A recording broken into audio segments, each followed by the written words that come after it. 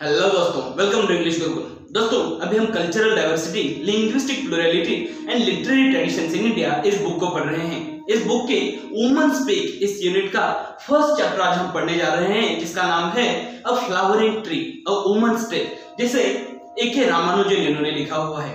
दोस्तों women speak इस unit के इंट्रोडक्शन के वीडियो में मैंने आपको बताया था कि अ फ्लावरिंग ट्री एक हाईली सिंबॉलिक कथा है। इसे अगर हम कहें तो ये फोक टेल है। अब एक फोक टेल का मतलब होता है लोक कथा।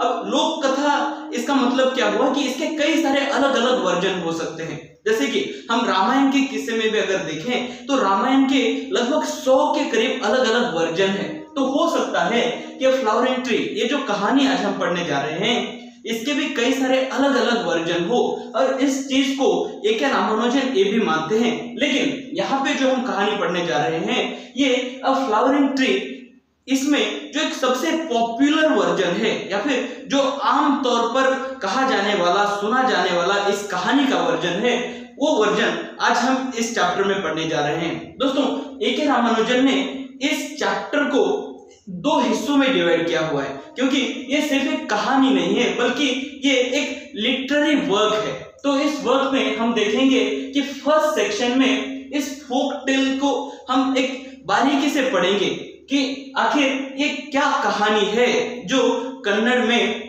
अक्सर कही जाती है, और उसके बाद इस कहानी में जो अलग अलग सिंबोलिज्म यूज़ किए गए हैं उस सिंबोलिज्म के ऊपर हम गहराई से डिस्कशन करेंगे। तो शुरुआत करते हैं इस फोकटेल से। दोस्तों, ये जो कहानी है, ये कहानी है एक यंग लड़की की, एक नौजवान युवती की ये कहानी है, जो एक राज्य में रहती है। अब ये कहानी उस जमाने की है कि जब राजा महाराजाओं का शासन हुआ करता था। तो उस राज्य में एक राजा था, जिसका एक बेटा और दो लड़कियाँ थी। उसमें से जो बड़ी लड़की थी, उसकी शादी हो चुकी थी, और अभी जो नौजवान लड़का यानी कि राजकुमार है, वो और उस राजकुमार की बहन, ये दोनों अविवाहित थे। तो अब उसी राज्य में एक गरीब परिवार में दो लड़कियाँ रहती थी, और ये लड़कियाँ अपनी माँ के साथ रहती थी। अब हमें ये रीजन नहीं पता कि उनके पिता के साथ क्या हुआ, लेकिन इस कहानी में कहीं भी उनके पिता का हमें उल्लेख देखने को नहीं मिलता। अब ये जो परिवार है, यहाँ पे क्योंकि दो लड़कियाँ हैं और एक अकेले औरत के ऊपर, इन दो लड़कियों की ज़िम्मेदारी है। तो ऐसे में वो जो बुज़ुर्ग महिला है, वो काफ़ी मेहनत करती है। अपनी लड़कियों की परवरिश में वो बहुत मेहनत कर रही होती है। और यही चीज़ इन दो लड़कियों में से जो छोटी लड़की होती है, जो कि इस कहानी की मुख्य पात्र और एक हीरोइन है, वो छोटी लड़की एक दिन अपनी बड़ी बहन से कहती है कि बहन मैं देखती हूँ कि हमारी माँ, हम दोनों की परवरिश के लिए बहुत ज़्यादा मेहनत करती है, बहुत ज़्यादा संघर्ष करते है। और क्यों ना हम उसकी कुछ मदद करें। तो उस, इसके लिए वो कहते हैं कि मैं एक फ्लावरिंग ट्री में तब्दील हो जाऊँगी और जब मैं एक फ्लावरिंग ट्री में एक फूल देने वाली बड़े से वृक्ष में तब्दील हो जाऊँगी तो उस वक्त तुम्हें बहुत ही सावधानी के साथ जितने चाहो उतने फूल तोड़ने हैं। और विशेष सावधानी लेनी है कि जब तुम फूल तोड़ोगी तो उस वक्त कोई भी पत्ते ना टूटे। साथ ही साथ जो डालियाँ, जो टहनियाँ है, वो टहनियाँ ना टूटे। और उसके बाद फिर से एक बार जब तुम ये पूरे फूल तोड़ लोगी तो हम उन फूलों को राज्य में बेच सकते हैं। और इससे हमारी माँ की बहुत ही मदद हो जाएगी, कहीं ना कहीं हम उनका हाथ बटा पाएँगे। तो जब इस तरह से छोटी बहन कहती है तो बड़ी बहन कहती है कि, लेकिन ये कैसे हो सकता है? तो फिर छोटी बहन उसे पूरा एक्सप्लेन करती है कि वो एक दो पिक्चर्स यानी कि दो पानी के घड़े, दो पानी के मटके लाकर वहाँ पे देगी। और वो कहती है कि, मैं अभी ध्यान करने बैठूँगी और प्रभु का मैं ध्यान करूँगी। और फिर तुम पहले मटके से, पहले घड़े से मुझ पर पानी छिड़क देना, पूरा पानी डाल देना। और फिर मैं एक बड़े से विशाल काय फूल देने वाले वृक्ष में तब्दील हो जाऊँगी। और फिर तुम, जैसा मैंने कहा था, उसी तरह से फूल तोड़ लेना, और जब तुम्हारा फूल तोड़कर हो जाए तो उसके पश्चात तुम दूसरा जो घड़ा है, वो घड़ा मुझ पर डाल देना। और फिर से एक बार मैं, तुम्हारी बहन, यानी कि फिर से एक बार मैं महिला में तब्दील हो जाऊँगी। ठीक इसी तरह से वो करती है और जो छोटी बहन है, वो पूरी तरह से अपने आँगन में झाड़ू लगाती है साफ़ सफ़ाई करती है। उनके आँगन में एक और पेड़ होता है। उस पेड़ के नीचे एक छोटी बहन जाकर बैठ जाती है। और जैसे कि उसने एक्सप्लेन किया था, वो ध्यान करती है और बड़ी बहन उसके ऊपर एक घड़ा पानी डाल देती है। और फिर जब वो एक फूल, खूबसूरत फूल देने वाले वृक्ष में तब्दील हो जाती है तो बड़ी बहन सावधानी से बिना किसी पत्तों को तोड़े या बिना किसी डाली को तोड़े, सिर्फ़ फूल फूल तोड़ लेती है। और जब वो काफ़ी सारे फूल तोड़ लेती है तो फिर से जो दूसरा बचा हुआ घड़ा था, वो घड़ा उस वृक्ष पर डाल देती है और फिर से छोटी बहन, वहाँ पे बहन की तरह यानी इंसानी रूप में आ जाती है और अपने बालों में जो पानी छिड़का गया था, वो पानी, वो इस तरह से अपने सिर को हिलाते जिससे कि वो पानी नीचे गिर जाए। तो यहाँ पर, ये जो पहले स्टेप है, जहाँ, यहाँ पर हमें पता चलता है कि इस लड़की में एक खूबी है। उसके पास एक सुपर पावर कह सकते हैं सुपर नेचुरल पावर है, जिससे वो एक वृक्ष में बदल सकती है। लेकिन कहानी में कहीं भी हमें ये एक्सप्लेन नहीं किया गया है कि आखिर वो क्या वजह है या फिर किस वजह से इस लड़की के पास ये सुपर पावर आती है। तो अब इसके बाद जब ये लड़की फिर से एक बार इंसान बन जाती है। तो जितने भी फूल बड़ी बहन ने तोड़े थे, उन फूलों को माला के रूप में पिरोया जाता है और फिर बड़ी बहन उन फूलों को बेचने के लिए राज्य में निकल पड़ती है। वो चिल्लाते रहते फूल ले लो, फूल ले लो, फूल किसे चाहिए, फूल ले लो। और इसी तरह से वो राज्य में निकल पड़ती है। और वहाँ पर जब वो राजा के राजमहल के सामने से गुजर रही होती है तो राजा की जो छोटी बेटी होती है, वो बेटी देखती है कि, माँ माँ, देखो वहाँ पर एक लड़की फूल बेच रही, देखो कितने खूबसूरत फूल है। मुझे भी फूल दिलाओ ना। तो जो राजमाता है या फिर जो रानी है, वो रानी उस बड़ी बहन को, उस लड़की को बुलाती है, जो फूल बेच रही होती है, और उसे कहती है कि ये फूल तो काफ़ी खूबसूरत है, कितने रुपए में दोगी? तो एक गरीब लड़की कहती है कि आप जो भी दे दो, वही हमारे लिए सही है, हम तो गरीब इंसान हैं। और फिर ऐसे में उसे कुछ रुपए दे देती है, और वो सारे फूल रानी रख लेती है। कुछ इसी तरह से अगले पाँच दिनों तक ये कार्यक्रम चलता रहता है और पाँच दिनों में पाँच हैंडफुल ऑफ़ कॉइन्स यानी पाँच मुट्ठी में बैठे इतने कॉइन्स अब ये दो लड़कियों के पास जमा हो जाते हैं। लेकिन अब जब इनके पास पैसे तो आ गए, ऐसे में जब बड़ी बहन कहती है, छोटी बहन से कि चलो अब हम माँ को ये पैसे दिखाएँगे और उसे सरप्राइज़ करेंगे तो यहाँ पर छोटी बहन कहती है कि अभी अगर हम माँ को ये पैसे दिखाएँगे तो माँ को डाउट आ सकता है माँ हम पर गुस्सा कर सकती है। वो पूछेगी कैसे पैसे है, कहाँ से पैसे है तो कहीं ना कहीं वहाँ पे असमंजस वाली परिस्थिति आ जाती है। और दोनों लड़कियाँ तय करती हैं कि वो इस सीक्रेट को छुपा कर रखेंगे, कुछ और दिनों तक। और जब खूब सारे पैसे आ जाएँगे, तब तो वो अपनी माँ को बता देंगी। तो फिर ये जो पाँच दिनों का घटनाक्रम चल रहा होता है, इसी दौरान हर रोज ये फूल राजमहल के अंदर जा रहे थे तो वही उसी समय पर जो राजकुमार होता है, वो राजकुमार भी इन खूबसूरत फूलों को देखता है और उसके मन में एक जिज्ञासा पैदा होती है। वो कहता है कि इस तरह के फूल मैंने राज्य में कहीं और नहीं देखे हैं। आखिर कौन सा पेड़ है जिस पेड़ पर इस प्रकार के खूबसूरत से फूल उगते हैं और अपनी इसी जिज्ञासा को शांत करने के लिए अगले दिन जब ये लड़की फूल बेचने के लिए महल के सामने आती है तो उस लड़की के पीछे पीछे वो उसके घर तक पहुँच जाता है। और जब एक बार उसके घर को देख लेता है तो अगली सुबह वो इन लड़कियों के सीक्रेट को भी जान जाता है कि आखिर जो छोटी बहन है जो छोटी लड़की है वो किस तरह से लड़की से एक फूल देने वाले वृक्ष में तब्दील हो जाती है और फिर से एक बार लड़की में रूपांतरित हो जाती है। और फिर जब वो इस सारी घटना को देखकर वापस आता है तो इसका ज़िक्र वो अप, अपने सबसे नजदीकी दोस्त से भी करता है। और फिर वो कहीं ना कहीं हो सकता है अपने दोस्त के साथ मिलकर वो प्लानिंग कर कर वो अपने माँ बाप से बात करना बंद कर देता है। अब इस तरह की घटनाएँ अक्सर जब हम पुरानी कहानियाँ पढ़ते हैं तो उसमें भी हम देखते हैं, जहाँ पर कोपा ग्रह हुआ करता था। कोपा ग्रह एक ऐसी सिस्टम हुआ करती थी कि जो भी कोई राजा से असंतुष्ट है, राज राज परिवार में से, वो उस कोपा ग्रह में चला जाता है। और फिर जब राजा को पता चलता है कि हाँ मेरी रानी, मेरा बेटा, मेरी लड़की, कोई तो भी कोपा ग्रह में गया है तो उनकी क्या परेशानी है, क्या दुख है उसको जानने के लिए राजा उनके पास जाता है। कहीं ना कहीं उस जमाने के सत्याग्रह के रूप में हम इसे देख सकते हैं। तो जो राजकुमार है, वो दुखी होता है। तो और अभी राजा और रानी दोनों को भी समझ में नहीं आता है कि आखिर क्या प्रॉब्लम है। तो वो दोनों भी उसके पास जाते हैं कि बताओ, क्या दिक्कत है? आखिर तुम चाहते क्या हो? तो ऐसे में वो लड़का रिवील करता है कि वो उस पर्टिकुलर लड़की से शादी करना चाहता है। अब जब इस तरह से बात हो चुकी है तो यहाँ पर राजा वो लड़कियों की माँ को अपने पास बुलाता है, बुलावा भेजता है। अब जैसे ही वो गरीब बेचारी माँ राजा के सामने आकर खड़ी होती है तो कांपने लगती है, क्योंकि उसे ये समझ में नहीं आता कि ऐसा क्या हो गया? क्या मुझसे कोई गंठती हो गई? क्या मुझे कोई दंड दिया जाने वाला है? ऐसे ही कुछ ख्यालों से उसके सामने आकर कांपने लगती है। और फिर राजा उस औरत से उसकी छोटी बेटी के बारे में बात करता है, और वो इच्छा ज़ाहिर करता है कि अपने युवराज के साथ वो उस महिला की छोटी लड़की की शादी कराना चाहता है। तब ये महिला वहाँ पर कुछ भी नहीं बोलते और वापस जाती है और जैसे ही वो घर पे जाती है, अपने दोनों ही लड़कियों को वो पीटने लगती है और वो कहती है कि आखिर राजा को ये पता कैसे चला कि मेरे घर में दो लड़कियाँ हैं? और आखिर उसे हमारे परिवार के बारे में पता ही कैसे चला? तो कहीं ना कहीं उसके मन में ये डाउट आता है कि कहीं ना कहीं मेरी लड़कियाँ बाहर घूम रही है या फिर इन्होंने परिवार की मान मर्यादा को उल्लंघित किया है, पार किया है। यही रीजन है कि राजा मेरी लड़कियों के बारे में जानता है और अपने इसी डाउट के चलते उन लड़कियों को पीट देती है।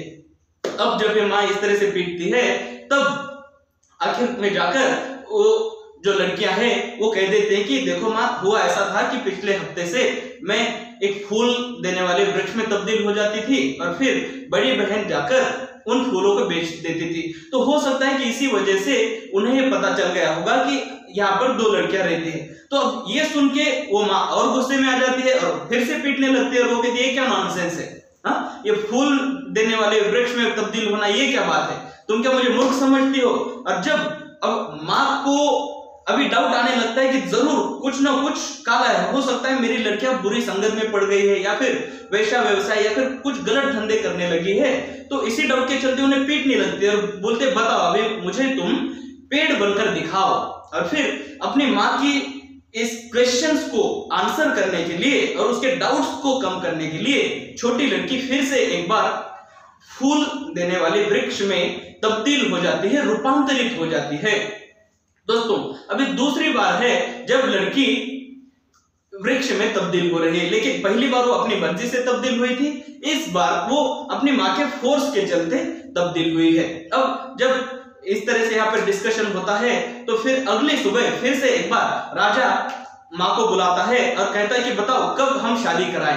तो अब माँ तो बहुत खुश हो गए क्योंकि कहीं ना कहीं उसे लगता है कि ये जो इस लड़की के पास विशेष पावर है ये अपने किसी काम के नहीं है तो जल्दी से जल्दी इसकी शादी हो जाए। और मेरे, मेरा पीछा छूटे तो कहीं ना कहीं वो कहते कि आप जब चाहो तब शादी करा देंगे। और फिर एक भव्य से मंडप का उल्लेख इस कहानी में किया गया है। उस उल्लेख के साथ हमें बताया कि भव्य स्वरूप में उनकी शादी की जाती है। जब शादी हो जाती है तो लड़का लड़की दोनों को अपने अलग कमरे में, अपने अलग रूम में उन्हें छोड़ दिया जाता है, जहाँ पर वो रहते हैं। लेकिन पहली रात बीत जाती है, उन दोनों के बीच में ना कोई डिस्कशन होता है, ना ही कोई गतिविधि होती है। दूसरी भी रात ठीक उसी तरह से शांति शांति से चुप्पी चुप्पी से बीत सी जाती है। जब तीसरी रात आती है तो लड़की अपने मन में सोचती है, क्या इसी सुख के लिए ये राजकुमार ने मुझसे शादी की इतना ढूंढ के? और फिर इसी चीज़ को वो राजकुमार को भी कहती है, क्या मुझे यही सुख देना चाह रहे थे कि जिस लिए तुमने मुझसे शादी की है? अब लड़का कहता है कि, मैंने तुमसे शादी की है लेकिन मैं तुमसे बात तभी करूँगा जब तुम वो कहो, करोगी जो मैं तुम्हें कहूँगा। और वो अपनी इच्छा ज़ाहिर करता है कि तुम मुझे वो फूल देने वाली वृक्ष में रूपांतरित होकर दिखाओ और तभी मैं तुम्हारे साथ बात करूँगा। अब लड़की कहती है कि, मेरे प्राण प्रिय, मेरे पति, आप जो कहोगे वो मैं कर सकती हूँ, लेकिन मैं एक इंसान हूँ, मैं कोई राक्षस या फिर कोई देवता नहीं हूँ कि मैं किसी वृक्ष में तब्दील हो जाऊँ, मैं भी आप ही की तरह आम इंसान हूँ।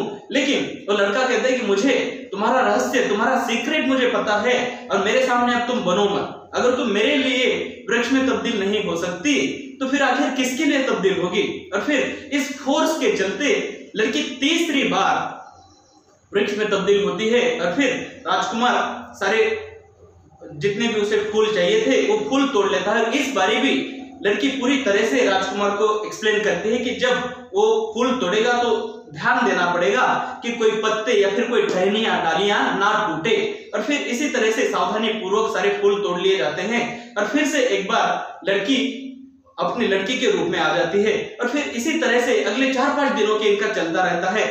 रात के समय में लड़की फूल, फूलों वाले वृक्ष में तब्दील होती है, फूल तोड़ते हैं, फिर वो अपने सुहागरात मनाते हैं। ऐसे चार पाँच दिन होते हैं, फिर सुबह जैसे होती है, सारे फूलों को खिड़की में से बाहर फेंक दिया जाता है। अब ये जो सारे फूल, हो सकता है ऊपर के मंजिला में रह रहे होते हैं, जैसे ही नीचे गिरते हैं तो नीचे पहाड़ जैसा जम जाता है। इतने ज़्यादा फूल खिड़की से नीचे फेंके जाते हैं। और फिर जो लड़की है, जो राजकुमारी है, वो अपनी माँ से कहते हैं कि, देखो माँ, भैया कितने ज़्यादा फूल नीचे फेंक रहे हैं, लेकिन मुझे एक फूल तक नहीं दिया। तो रानी राजकुमारी से कहती है कि कोई बात नहीं बेटा, मैं तुम्हारे भाई से कहूँगी और तुम्हें कुछ फूल देने को कहूँगी। लेकिन अब इसी के चलते एक बीच में एक सीक्रेट ये जो सीख रहस्य जो होता है, ये रहस्य राजकुमारी को भी पता चल जाता है। हो सकता है वो उनके ऊपर नज़र रखे थे कि आखिर इतने सारे फूल कहाँ से आ रहे हैं। तो फिर कुछ दिनों बाद जो राजकुमारी है, वो अपनी माँ से कहती है कि, माँ, मैं और मेरी सहेलियाँ, हम लोग बगीचे में झूले पर खेलने के लिए जाना चाह रही हैं। मैं भाभी को भी लेकर जाऊँ क्या? अब रानी कहती है, बेटा, ये मेरे ऊपर तो नहीं है। तुम्हारे भैया से पूछो, भैया क्या कहते हैं? तो जब भैया के पास जाती है तो राजकुमार, यानी उस राजकुमारी के भैया, वो कहते हैं कि, मेरे ऊपर नहीं है माँ जो कहेगी वैसा करो। तब तो लड़की यहाँ पर फिर से एक बार माँ के पास जाती है और कहती है कि, तुम्हारे पास आती हो तो तुम कहते हो, भैया से पूछो। भैया कहते हैं कि, माँ से पूछो, तुम तो चाहती ही नहीं कि तुम्हारी बहू मेरे साथ आए, तुम्हारे लिए तो बेटी से ज़्यादा बहू ही प्यारी है। तो इस तरह से ताना मारते हैं, इसके चलते रानी राजकुमारी के साथ अपनी बहू को बाहर जाने की अनुमति दे देती है। और फिर जब ये लड़की, जो कि हमारी नायिका है, वो नायिका राजकुमारी और उसकी सहेलियों के साथ झूले पर खेलने के लिए बगीचे में जाती है तो कुछ देर वहाँ पर झूला खेला जाता है और फिर राजकुमारी अचानक से सारे झूलों को रोक देते, खेलने को, खेलना बंद कर देती है और कहती है कि आओ आओ, मेरी, मेरे भैया की वाइफ अभी एक फूल देने वाले पेड़ में तब्दील होकर दिखाएगी और सबको वहाँ पर जमा कर देती है और अपनी भाभी से कहती है कि, भाभी, तुम अभी वृक्ष में तब्दील हो, रूपांतरित होकर दिखाओ, बहुत मज़ा आएगा। देखो, हमारे, हम में से किसी के पास भी फूल नहीं है। और फिर फिर से एक बार लड़की कहती है कि तुम नॉनसेंस हो गया, तुम्हें बिल्कुल भी अकल नहीं है क्या? मैं तुम्हारे जैसे आम इंसान हूँ, मैं कैसे वृक्ष में तब्दील हो सकती हूँ? लेकिन लड़की कहते अयो अभी कैसे नाटक कर रही है? सिर्फ़ अपने लवर्स के लिए और बॉयफ्रेंड्स के लिए ही तुम पेड़ में तब्दील होती हो क्या? तो इस तरह से ताना मार देती है। तो कहीं ना कहीं राजकुमारी के पास सुपर पावर है, ये एबिलिटी है, जो कि अक्सर मैक्सिमम औरतों के पास होती है, ताना मारने की एबिलिटी तो ताना मारती है और उस ताने के चलते लड़की फिर से एक बार, जो कि इस कहानी में चौथी बार है, चौथी बार लड़की एक वृक्ष में तब्दील हो जाती है। लेकिन जब रूपांतरित होने से पहले लड़की सारी स्टेप्स एक्सप्लेन कर रही थी तो ये नौजवान लड़कियाँ और राजकुमारी उनकी बातों को ठीक से नहीं सुनते हैं और वो आधा अधूरा ही पानी उसके शरीर पर छिड़कते हैं। इस वजह से उसके, लड़की के शरीर के कुछ अंग इंसानी रह जाते हैं और कुछ हिस्से फूलों वाले, यानी कि वृक्ष के हिस्से बन जाते हैं। और फिर जैसे ही वो तोड़ती है तो जल्दबाजी में लालच के साथ तो तोड़ती है तो उसके पत्ते टूट जाते हैं, कुछ टहनिया मुड़ जाती है, टूट जाती है। और फिर अचानक से वो देखते हैं कि अभी बारिश का मौसम बन रहा है तो जल्दबाजी में फिर से एक बार जो दूसरा घड़ा था, वो घड़ा यहाँ वहाँ उस लड़की के शरीर पर डाल देते हैं, जो कि अभी आधा वृक्ष और आधा इंसानी शरीर होता है। तो इसके चलते ये जो भी सीक्रेट या फिर जो कि पवित्र प्रोसेस थी, वो प्रोसेस ठीक से पूरी नहीं हो पाती। और अब लड़की एक वस्तु की तरह सिर्फ़ जिसके पास एक खूबसूरत सा चेहरा है और बाकी इंसानी शरीर है, लेकिन हाथ पैर नहीं है। यानी कि जिसे हम एक मुर्दा कह सकते हैं, या फिर इंग्लिश में कैरकैस शब्द है तो वो एक इंसानी कैरकैस बन जाती है, जो अभी बोल नहीं सकती। हाथ के नाम पर छोटे छोटे से हाथ है, पैर के नाम पर एकदम छोटे छोटे टुल्लू टुल्लू से पैर है। तो ऐसे में अब वो लड़की बारिश होती है तो वो बहकर नाली में चली जाती है बहते बहते इसी एक मोड़ पर जाकर वो अटक जाती है। जैसा कि अक्सर बारिश के समय में हम देखते हैं, जो कचरा होता है, वो कचरा किसी एक मोड़ पर जाकर अटक जाता है पानी के साथ। तो ठीक उसी तरह से किसी वस्तु या सामान की तरह ये लड़की किसी एक नाली में, एक नदी के किनारे पर जाकर अटक जाती है। और यहाँ पर ये लड़की अब एक इंसान से एक वस्तु या फिर एक थिंग में तब्दील हो जाती है। और ये यहाँ से उसकी बुरी दशा या फिर बुरा समय शुरू हो जाता है। दोस्तों, अब जब ये लड़की इस तरह से तब्दील हो जाती है तो अगली सुबह जहाँ पर वो अटकी पड़ी होती है, उसी के आसपास से सात आठ बैलगाड़ियाँ जा रही होती है। और जो पहले, पहली बैलगाड़ी वाला व्यक्ति है, वो सुनता है कि ये तो किसी इंसान के कराहने की, चिल्लाने की, दर्द से कराहने की आवाज़ है, लेकिन वो कहता है कि मुझे कोई प्रॉब्लम नहीं चाहिए। तो वो जल्दी से आगे निकल जाता है। बाकी के लोग भी ऐसे ही निकल जाते हैं। लेकिन जो सबसे आखिरी बैलगाड़ी वाला व्यक्ति होता है, वो सोचता है कि यार हो सकता है कोई इंसान हो और उसे मदद की आवश्यकता हो। ऐसे में वो जाता है तो देखता है कि यहाँ पर बिना कपड़ों के एक महिला के शरीर जैसे दिखने वाली एक वस्तु है, जिसके अंदर जान है, जीवित है और वो उसकी मदद करने के लिए अपना टर्बन यानी अपनी पगड़ी छुड़ाकर उसके ऊपर उसे ढक देता है, जिससे कि उसकी लाश बचाई जा सके। और फिर अपनी बैलगाड़ी में डालकर जो अगला शहर है, वहाँ तक उसे ले जाता है। और वहाँ पर एक चौराहे पर वो उसे रख देता है और कहता है कि तुम मरोगी नहीं, कोई ना कोई तुम्हें खाना देगा। तुम मरोगी नहीं, और फिर वो आगे चला जाता है। अब संयोग की बात यह होती है कि जिस नगर में उस लड़की को छोड़ा जाता है, वो नगर वो होता है जहाँ पर अपने राजकुमार की बड़ी बहन ब्याह कर दी जाए दी गई होती है। तो फिर उसी नगर में कुछ दिन वो रहती है। तो अब इसी दौरान पूरी कहानी राजकुमार के ऊपर शिफ्ट हो जाती है। अब जब लड़की जो कि अपनी नायिका है, गायब हो जाती है तो उसी दिन शाम को राजकुमार रानी के पास जाकर कहता है कि माँ, मेरी बीवी राजकुमारी के साथ खेलने गई थी, लेकिन वापस नहीं आई है।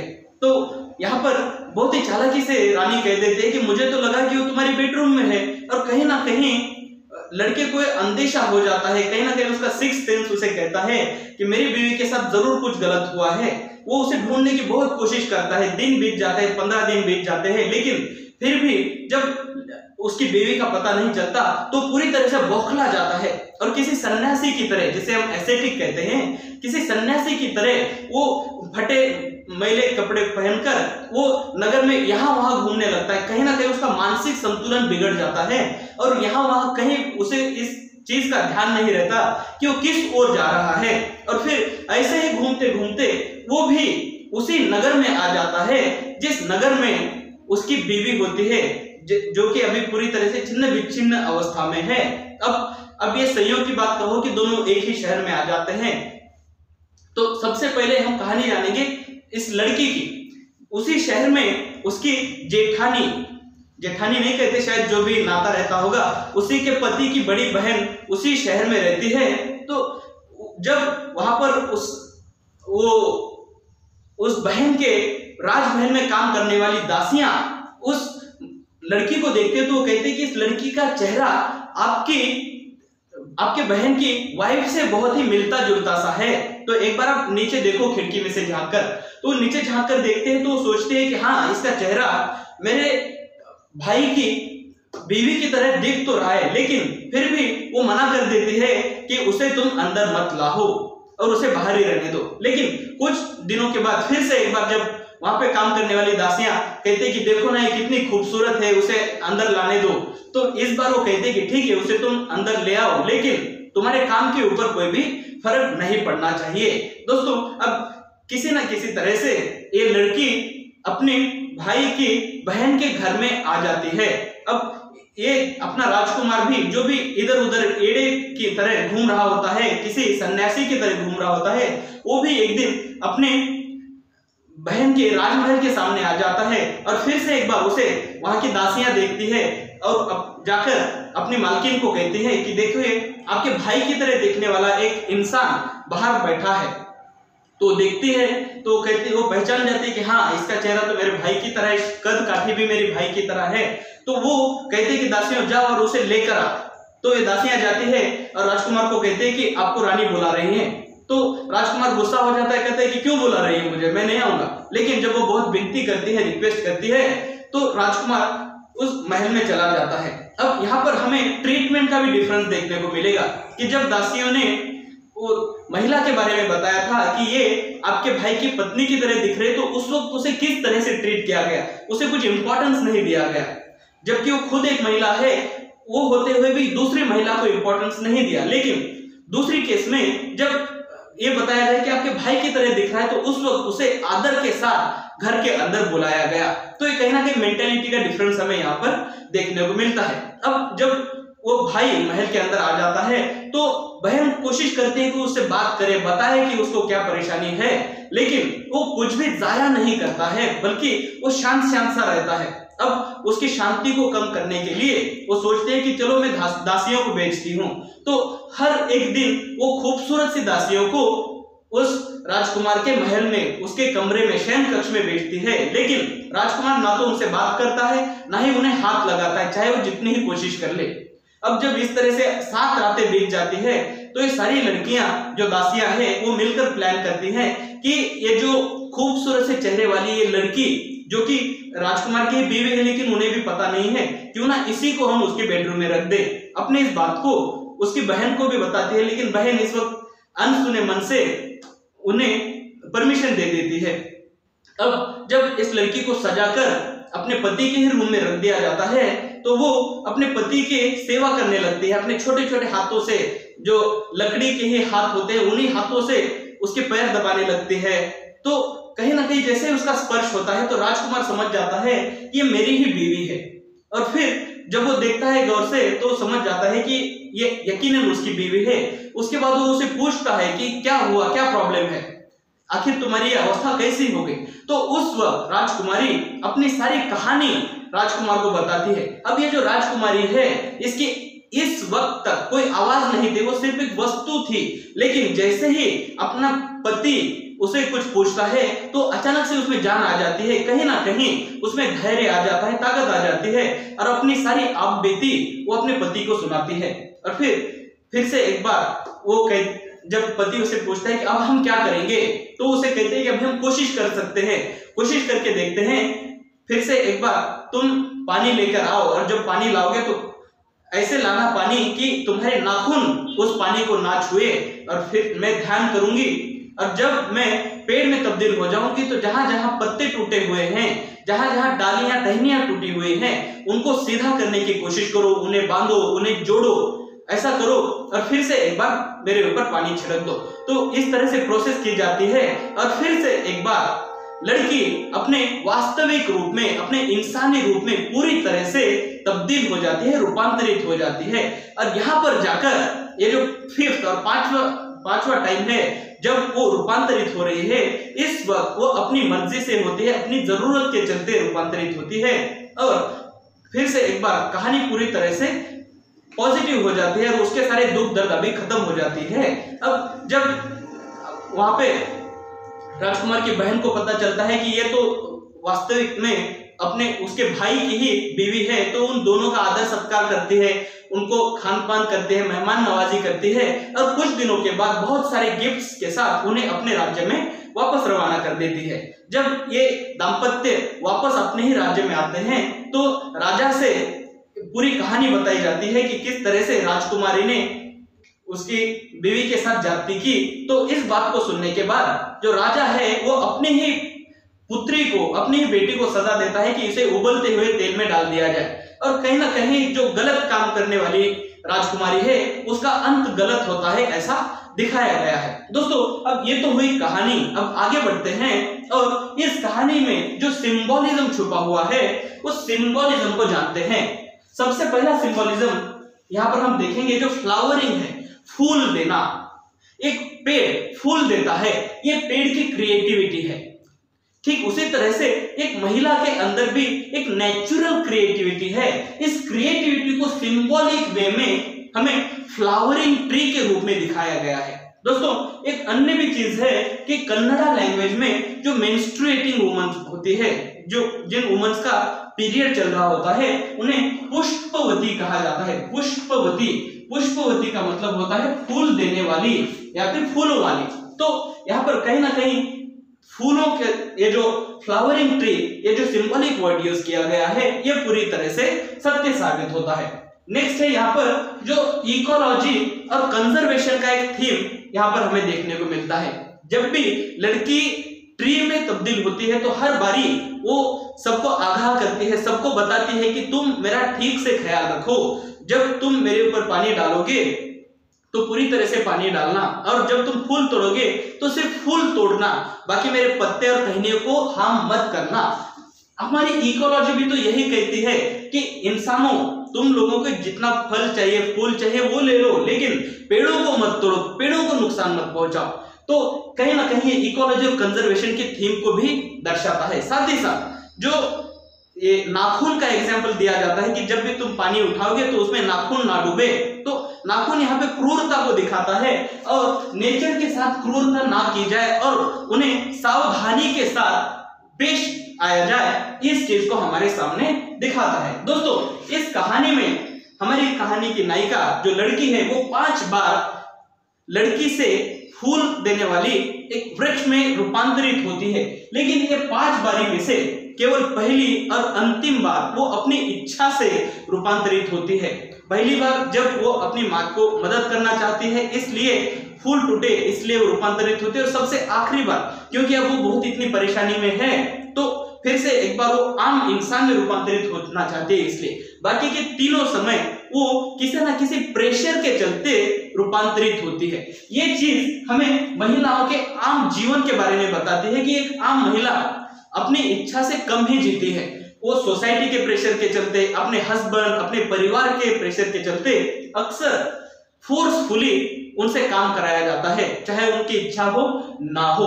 तो इस चीज़ से हमें ये सीख लेनी है कि हमें महिलाओं के प्रति सेंसिटिव रहना है, हमें उनकी समस्याओं को समझना है।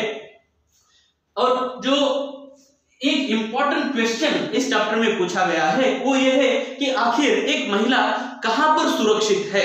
दोस्तों, एक महिला जब वो अपनी माँ के घर में थी, उस वक्त तो सुरक्षित थी। जब वो अपने पति के साथ उसके महल में आई, तब वो सुरक्षित थी। लेकिन वहाँ पर भी वो ज़्यादा सुरक्षित नहीं थी, क्योंकि उसका पति उसे हर रोज रात को अपना सीक्रेट रिवील करने के लिए फिर एक पेड़ में तब्दील होने के लिए मजबूर करता था। और जब वो उस तरह से तब्दील होगी, तभी जाकर वो खुश होता था। लेकिन यहाँ पर हम कहेंगे, भले ही उसके मन की ना हो, लेकिन वो सुरक्षित तो अपने थी ही थी। लेकिन जैसे ही वो घर से बाहर निकली तो वो असुरक्षित जोन में चले गए और जब वो खुले बगीचे में अपनी राजकुमारी राजकुमारी के कहने पर पेड़ में तब्दील हुए, उस वक्त वो सबसे डेंजर में आ गई और फिर उसके साथ बहुत ही गलत हुआ। वुमेन्स वल्नरेबिलिटी दोस्तों, अब यहाँ पर हमें दिखाया गया है कि हर बार जब भी लड़की फूल देने वाले वृक्ष में तब्दील होती है तो कहती कि मेरे साथ तुम बहुत सावधानी से पेश आना।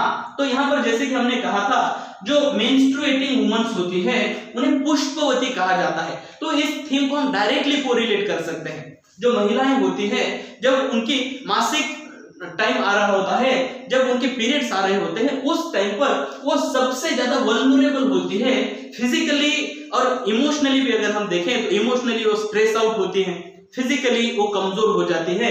तो ये वो समय है जब वो सबसे ज़्यादा वल्नरेबल है। इस चीज़ को भी हमें इस कहानी में दिखाया गया है और ये भी समझाया गया है कि इस समय में महिलाओं के साथ बहुत ही सावधानी के साथ हमें बर्ताव करना है। नेक्स्ट है rest with women's special gift दोस्तों, लड़की के पास स्पेशल गिफ्ट है कि वो फूल देने वाले वृक्ष में तब्दील हो सकती है। लेकिन यही उसका स्पेशल गिफ्ट उसके जीवन का सबसे बड़ा अभिशाप भी बन जाता है, क्योंकि इसी स्पेशल गिफ्ट के चलते उसे बगीचे में जाकर एक पेड़ में तब्दील होना पड़ता है। फिर वो एक महिला से एक वस्तु की तरह, एक कमोडिटी की तरह उसे पेश आया जाता है। और फिर उसके जीवन में बहुत ही बुरे दिन आ जाते हैं। तो जो उनके पास स्पेशल पावर है तो एक महिला के पास अगर हम देखें तो उनकी खूबसूरती, उनकी सादगी, ये चीज़ें उनकी स्पेशल गिफ्ट है। तो कहीं ना कहीं यही चीज़ें उनके लिए एक रिस्क का भी कारण बन जाती है। तो इन चीज़ों को आखिर इस कहानी के रूप से क्यों बताया जा रहा है? इस चीज़ को हमें समझना है। दोस्तों एक फोक टेल है। ये एक फोक टेल है जो कई सालों से, सदियों से गाँव गाँव में महिलाएँ महिलाओं के बीच में बैठकर उन्हें कहानी के रूप से बता रही है। तो वो ये चाहती है कि महिलाएँ अपने स्पेशल गिफ्ट को थॉटफुली यूज़ करें और वो ये समझे कि जब उनके पीरियड्स आ रहे होते हैं, वो बहुत वल्नरेबल होते हैं। ऐसे कई सारी चीज़ें अपने शरीर को लेकर उनकी अंडरस्टैंडिंग बदले, बढ़े। ये सारी चीज़ें उन्हें समझ में आए, इसलिए उन्हें ये चीज़ें कहानी के रूप में बताई जाती है। नेक्स्ट सिंबोलिज्म है force to become tree in wrong place दोस्तों, एक ट्री कहाँ पर ट्री होता है? जो ट्री होता है, वो घर के अंदर तो नहीं होता ना? लेकिन जब अपने नायिका की शादी हो जाती है तो वो कहता है कि तुम बेडरूम में मेरे लिए ट्री बन जाओ। तो कहीं ना कहीं ये उसकी जगह ही नहीं है।